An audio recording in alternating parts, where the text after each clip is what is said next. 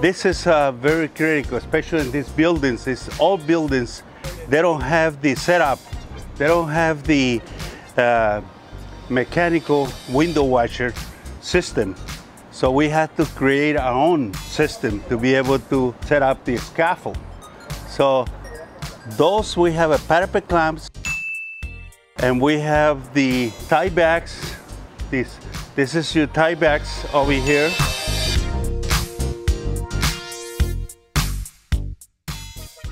Then also we have the tie downs for the safety of each man. So each man had have our own safety line. And of course, we have to have the tie backs.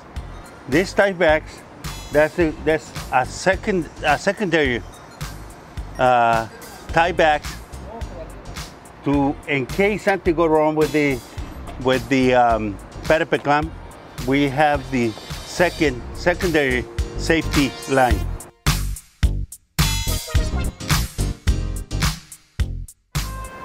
Hi, I'm Ben Rodriguez Jr. with SPC Building Services. I'm excited to share a bit more about this project that we are having an opportunity to participate in downtown Pasadena. So one of the key focuses that we always commit to at SPC is making sure that our craftsmen, our painters, our folks that are working on these projects go through all the appropriate training and certification before they are on a job site. And a project like this that is a high profile project requires the appropriate training and certification not only when it comes to setting up this equipment, but it's also important that in the event of a mechanical malfunction, we're able to adjust to the situation.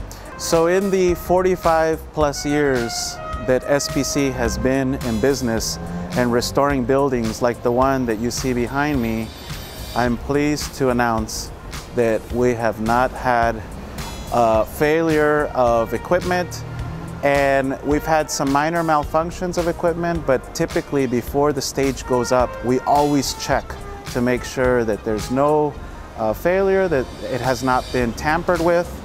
And um, we take a tremendous amount of pride in making sure that our applicators, our craftsmen, uh, have a 100% safety record when it comes to this type of setup on a building.